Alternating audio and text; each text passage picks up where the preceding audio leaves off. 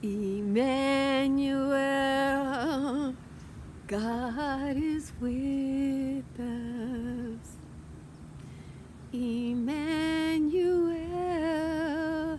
God is with us. I just thought I'd show you my chicory flowers. Aren't they gorgeous? They're so pretty. They look even prettier in person on camera they look day glow. In person, they are a perfect baby blue with no purple in them.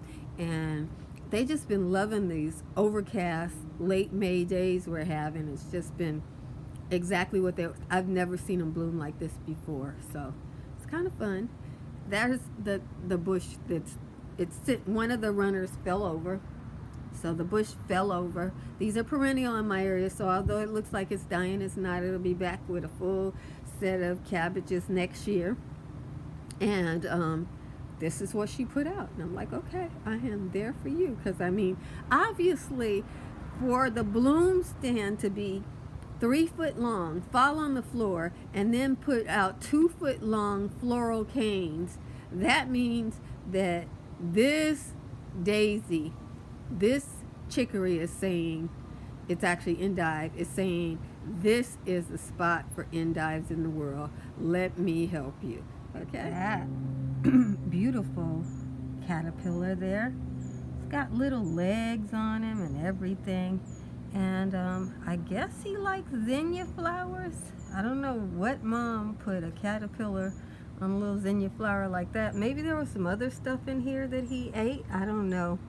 But um, y'all know I love me some butterflies. So whatever kind of butterfly he's going to be, he's going to flit around my garden someday. Hope. Well, it's that busy time preparing for the summer garden. Takes a lot of work.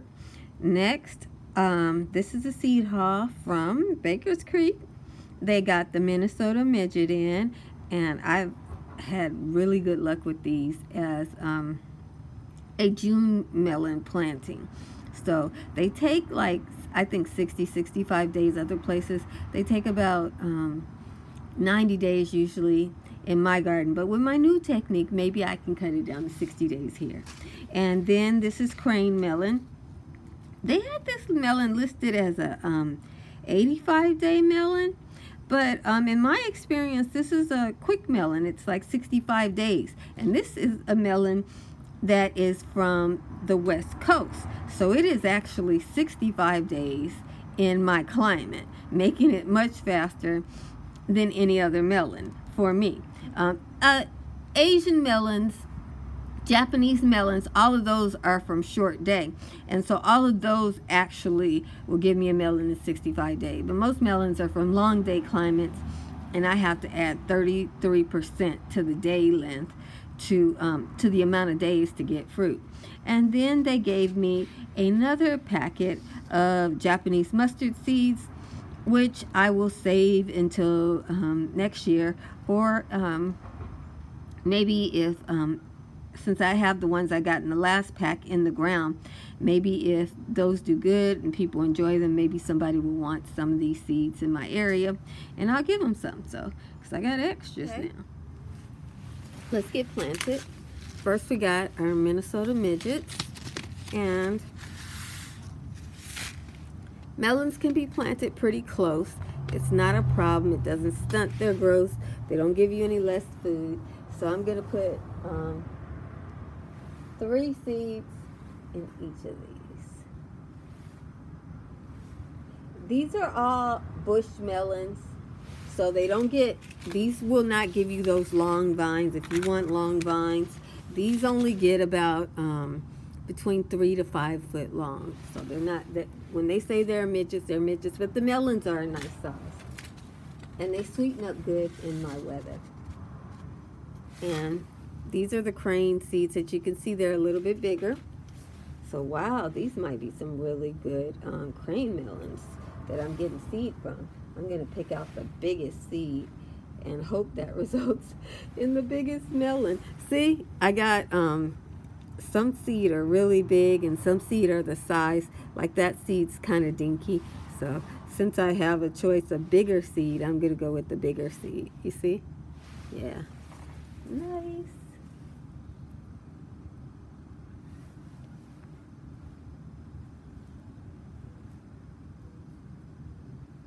See if I have some other big ones in there since they have so much diversity in here. Oh yeah, that's a nice seed there. Yeah, that's a good one.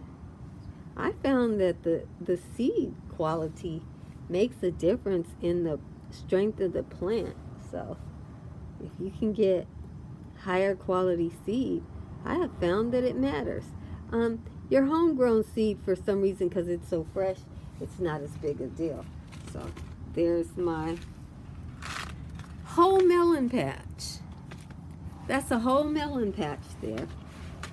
And um, a six pack. Yeah. And I'm going to put that right next to my watermelon patch and my okra patch. And I'm just, with these seeds, you just want to get them underneath some soil. So I just take my finger, and this soil is dry, and just shove them in there. You'll see me do that again and again.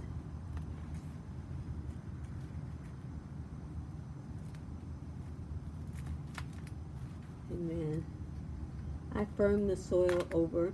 I've been taught to firm the soil uh, so that it makes contact. Um, melon seeds germinate really, really easy. Melon and cucurbits, melon and pumpkin and watermelon, they germinate really easy. And in my area, the seedlings don't have as many pests as other seeds do. So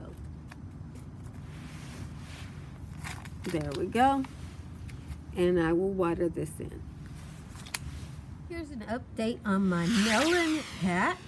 And I'm telling you guys that Minnesota Midget loves my environment. I don't know what to say about that. Um, one side is Minnesota Midget. I've been eating Cheetos, y'all. I, I was doing this and I got hungry. And um, one side is Crane melon. These are melons that were made in California. And they have an Asian root. But the germination over there is horrible. It's like 30% germination. So maybe it's a little bit slower to germinate than the Minnesotas. I planted three in each pot. I got three out of this pot, two out of this pot, and two out of this pot. So the Minnesota Midget gave me um, like 85% germination. And I'm sure the other two are going to be coming. Melons are great for germinating. And um, so that's great. And the crane melons, they're just slow poking along, you know. But we'll see. Maybe they're just a little bit later. This is a seven day update. So these came up yesterday, which was day seven. And, and those came up yesterday, which is day seven. So maybe the rest of the melons will come up within um, another week. We'll see what happens. Because I need these planted out in June so that I have them in the ground for June, July, August, September is when I want my melons, you know. And um, for the stragglers, I'll take them in October and November would be great too. To show you my watermelon patch. These are the watermelons that went in the ground. I think it's been about a week ago. And they are really enjoying this hot compost. go plant some of these. Yeah. These Minnesota midgets, I'm going to try my first batch out in the ground and see how it goes. They got a little leaf on them. So I think this one and that one look like, and that one looks pretty good too. So yeah, and I think I'm gonna plant this one on my safe side. Yeah, that's what we'll okay. do first. I planted out my first melon. That's a crane melon.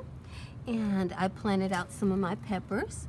I don't know which is which, but I planted one Nardello, one Shishito, and one Marconi. I think the Marconi's um, growing a little faster than the others, so I think that one might be the Marconi, and those two would be the Shishito and the um, Nardella. Wanted to let you guys. I went into the house to um, eat because I was hungry. I was like, oh, I'll just do these things when I get back. We had summer rain again. This is the second summer rain in Southern California. And I was like, it's cold out here. I have I had I had to put on some shoes and a coat. And if you guys know anything about me, I am a rugged kind of barefoot and pregnant type gardener. I don't do all those um, extra clothes in the garden. I just come out here in a little slip dress or a old lady house dress and do my thing. But it's wet out here. I don't know. I don't know if I want to do this, but I need to. So let me just get going. Oh my goodness. Look at the bugs eating my watermelon. It's a good thing it's watermelon. It's not going to be a problem. Well, I guess it's good to do it in the rain. But it's uncomfortable, guys. It's uncomfortable.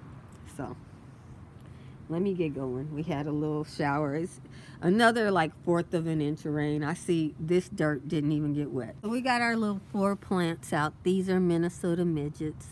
And planting them is easy.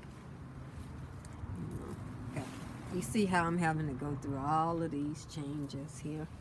But it's to be worth it. And um, I'm just finding a soft spot. So there we go. That's good. Yeah, that's real good. That's real good there. And I'll just put the rest of them in the ground. Two, why not? We have four. You can plant these melons pretty close together. They are um, midget melons, Minnesota midgets. They don't have really long vines, so it's not like you have to worry about, oh my God, I'm to have these massive vines. You aren't.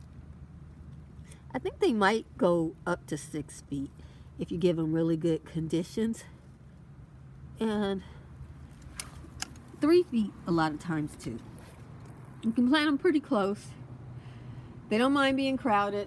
What they'll do is send word of who gets to grow first, and whoever gets to grow first grows first, and then everybody else has to wait their turn. That's how they do it. Um, each of these put on a whole lot of melons. You can go back and see some of my previous season videos if you want. I took off my shoes because I certainly don't want to crush any other seedlings in my um, bigger. So I'm just making a little hole, sticking it in there. And uh, there you go. Ah, this one over here, I didn't do a real good job with it. Let me just press it in a little bit. They barely have a root system, so I have to be real tender with them. There we go with that. And I have just one more just one more melon. And what I want, I'm, I'm, I have a few more melons that I'm going to plant over here. I have four more so far, but I don't want to get crazy with it. I want to see how these manage, you know. If they make it just fine, then I can add more. And if they don't, you know, I have to come up with a new plan. But I see where these beans are growing. As it gets warmer and warmer, um, the beans will stop. The Minnesota midgets won't stop. They will climb the same trellis that the beans are on now. There they are. There's some Minnesotas over there. And there are some Minnesotas over there. Yep. It's an overcast day. Perfect day to plant stuff out so they don't go into as much shock. Yeah. I'm feeling good about that. Jesus loves you and I love you with all the Jesus in me. Be blessed, beautiful.